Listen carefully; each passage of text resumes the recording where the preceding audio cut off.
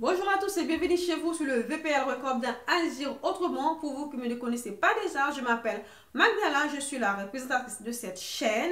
Je suis coach de vie, je suis aussi écrivaine et je suis aussi conférencière. Pour plus d'explications, vous trouvez les liens de mes livres dans la description de cette vidéo.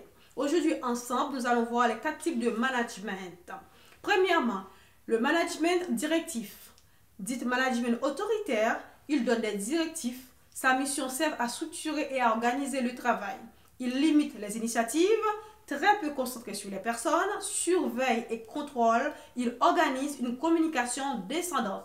Il passe des ordres point barre et vous, vous, vous, vous adaptez. Deuxièmement, il y a le management persuasif. Lui, il est très organisationnel et très relationnel. Il s'ouvre davantage à l'écoute de ses collaborateurs il ne cherche pas systématiquement à s'imposer. Il donne pas mal d'explications. Il est attentif aux indicateurs de motivation et de, et de démotivation. Il veut aussi à ce que chacun ait bien compris ce qui est attendu. Troisièmement, il y a ce qu'on appelle le management délégatif. Lui, il est très peu présent. Il est dans le laisser-faire. Il exprime ainsi la confiance accordée. Il accepte l'initiative. La responsabilité est partagée il n'a pas nécessairement euh, d'encouragement. Donc, il est là, il est plus dans le laisser-faire pour le management délégatif. Et aussi, quatrièmement, on a le management participatif ou le management qu'on appelle co-construction ou le management qu'on appelle le cerveau collectif. Donc, il est très relationnel. L'équipe est impliquée dans la prise de décision parce qu'il va faire en sorte que tout le monde participe. Avant d'écrire un projet, il va écouter tout le monde Ensuite, il est dans l'écoute attentive, l'analyse et conseil.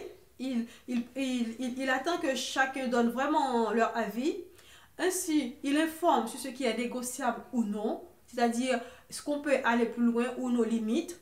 Il cherche aussi à équilibrer les intérêts généraux et particuliers. C'est-à-dire que s'il y a des bénéfices, il ne va pas prendre tous ces bénéfices pour lui simplement, mais il va participer, il va partager les bénéfices de l'entreprise avec tous les salariés, toutes les personnes qui ont participé pour l'avancement de projets, etc., etc. Donc, il est vraiment très important pour un management de savoir quel style de pouvoir adopter. Est-ce que c'est le management directif? Est-ce que c'est le management persuasif? Ou est-ce que c'est le management délégatif ou participatif? Après, j'aimerais bien vous dire que ça va dépendre du public en question. Parfois, il y a, des équipes, pour qu'ils travaillent bien, vous devez être très directif. Parfois, d'autres, il faut qu'ils soient participatifs, il faut qu'il y ait un sens dans ce qu'ils font. Et aussi, il y a des managements délégatifs. Mais les délégatifs, moi, je ne le conseille pas trop si que vous savez que l'équipe en face, ce n'est pas des gens qui, qui sont responsables. Donc, il faut vraiment faire très attention de savoir quel type de management je vais utiliser face à l'équipe en question. Sur ce, je vous dis à très bientôt. Surtout, regardez dans la description de mes vidéos pour plus d'explications sur mes livres où est-ce que vous pouvez les trouver. Et je vous dis partagez abondamment. Merci.